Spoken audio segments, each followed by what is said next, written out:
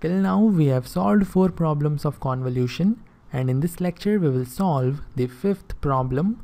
This problem is taken from GATE Electronics and Communication 2000 paper. Let's read the problem.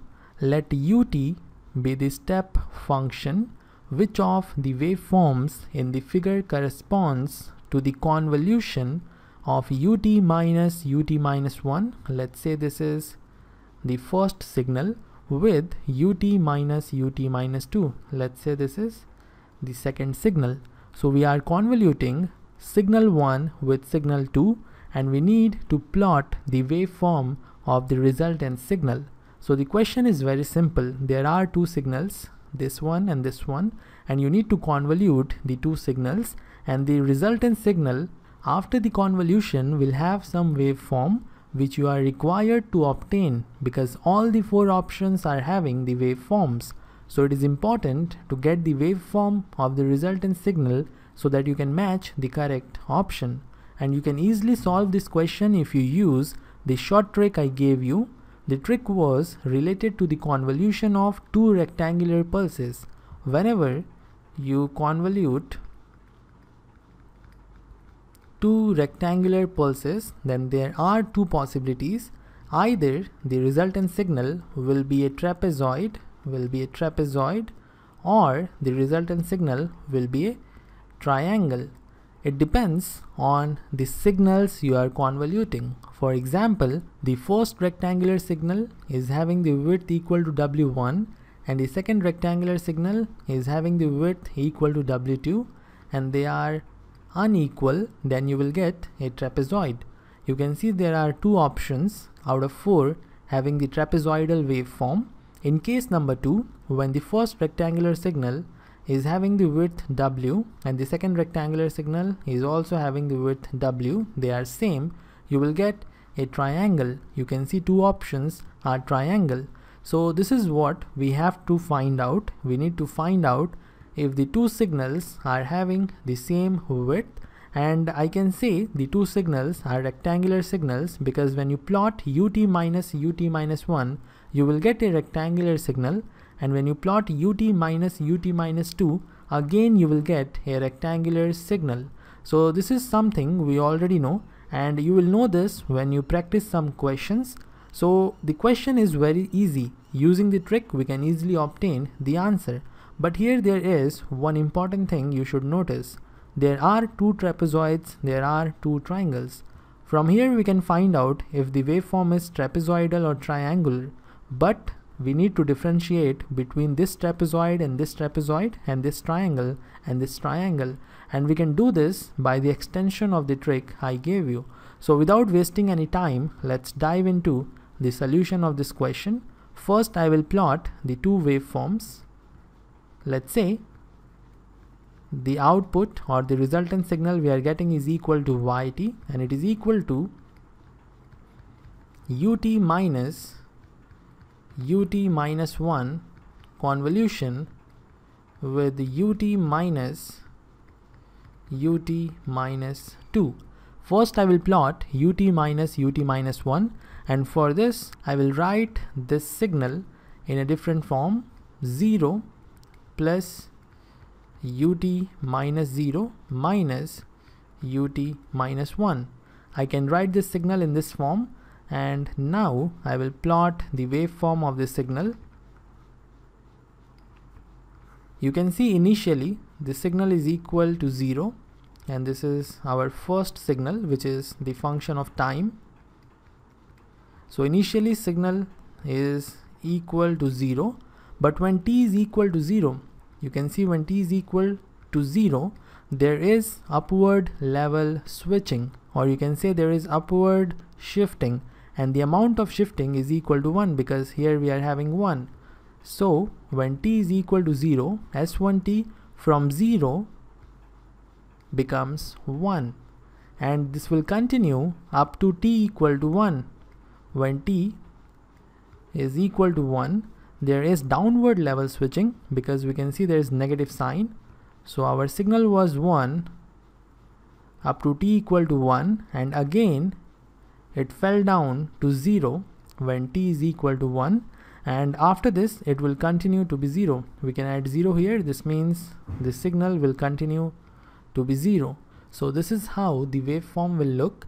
And you can see the flow of the signal from minus infinity to 0 signal value is equal to 0 when t is equal to 0 there is upward level switching and the value of signal becomes 1 now the value will remain 1 from 0 to 1 when t is equal to 1, there is downward level switching and the value of signal becomes 0. So this is the flow from 1 to infinity. You can obtain the same waveform using a different method. We have used this method because we have already seen the shortcut method to obtain the mathematical representation of the given waveform and as we have the mathematical representation here we can obtain the waveform. Now I will explain you another way to obtain the same waveform. First we will plot the waveform of ut. The waveform of ut we already know. It is like this. From minus infinity to 0 ut is equal to 0 and from 0 to infinity ut is equal to 1 so this is how the waveform of unit step signal will look. And now we will plot the waveform of minus ut minus 1 we can write it as ut plus minus ut minus 1 we have the waveform of ut and now we will obtain the waveform of minus ut minus 1 for this we will perform the time shifting and the amplitude scaling this means we will perform the time shifting and amplitude scaling in the unit step signal. First we will perform the time shifting. It will give us ut minus 1 and then we will perform the amplitude scaling and it will give us minus ut minus 1. You can also call it amplitude reversal.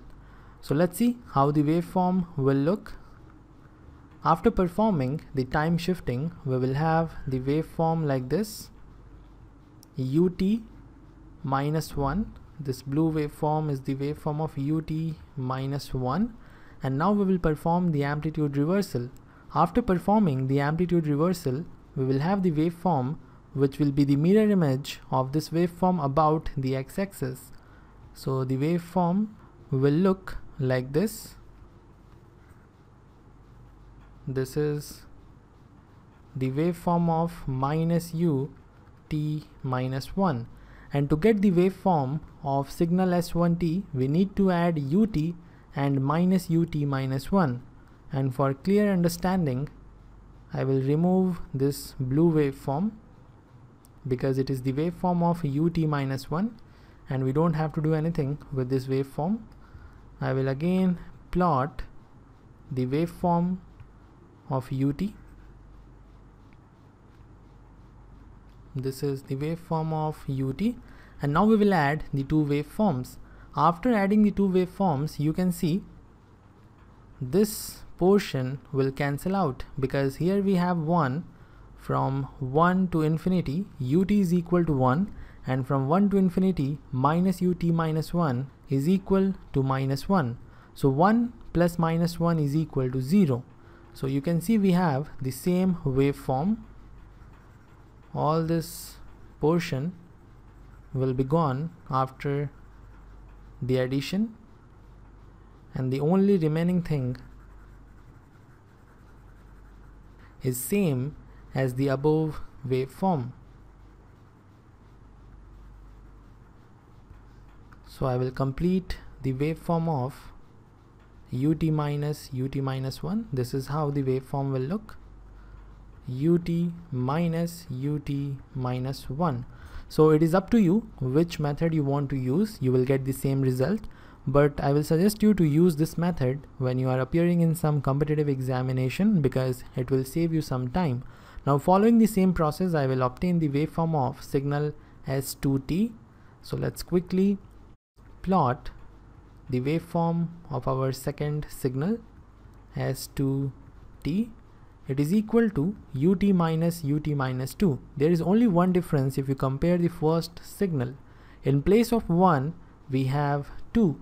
So simply extend the non-zero region of the waveform up to t equal to 2. So this is how the waveform will look. Now you can see the width of first rectangular pulse is equal to 1 and the width of second rectangular pulse is equal to 2. So we have the unequal widths and therefore the resultant signal after performing the convolution is going to be a trapezoid. So option A and option D are not the correct options. Option A and option D are not correct because we have triangular waveform in the two options. Now we are left with option C and option B. For this we need the exact waveform of the resultant signal. So let's plot the exact waveform. We have everything to plot the exact waveform of the resultant signal yt. The first thing is to find out the extension. To find out the extension we will add this 0 and this 0 here because from this instant of time only s1t is becoming non-zero and in case of s2t also from this instant only it is becoming non-zero. So 0 plus 0 will give us 0 and from this instant our signal yt will become non-zero. Now we will add this 1 and this 2. 1 plus 2 is equal to 3. So after this instant our signal will become 0. Now we have the extension. Now we will try to find out the important instant of time up to which the signal value will linearly increase. You can see the two trapezoids and you will find up to 1.5 the signal is increasing linearly and here up to 1 the signal is increasing linearly. To find this instant we focus on the width or duration which is minimum. Here 1 is smaller than 2 and this 0 here is the starting point. Starting point. So we will measure 1 from this starting point. This is 1 here. So the signal will increase linearly up to 1 but up to what value it will increase linearly.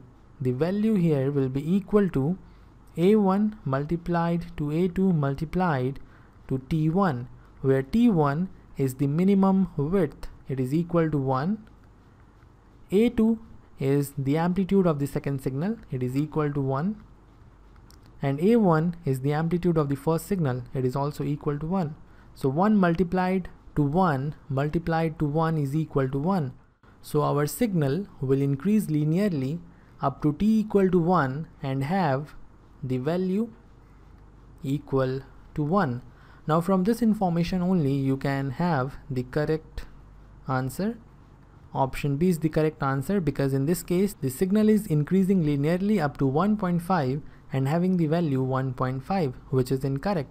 It will increase linearly up to 1 and have the value equal to 1. But I will show you how to obtain the complete waveform. After this we will measure the larger width from the starting point. So here we will have 2 and this is the width of second pulse and this is the width of first pulse and our signal will remain constant up to t equal to 2 which is the width of second pulse from the starting point and from here it will decrease linearly up to t equal to 3 now you can match the waveform and you will find option B is the correct option so I hope you now understand how to obtain the convolution of two rectangular pulses and by using this shortcut method you will save a lot of time. So this is all for this lecture. If you have any doubt you may ask in the comment section and if you have doubt following the shortcut method and also how to obtain the waveform using the mathematical representation do follow the previous lectures. So I will end this lecture here. See you in the next one.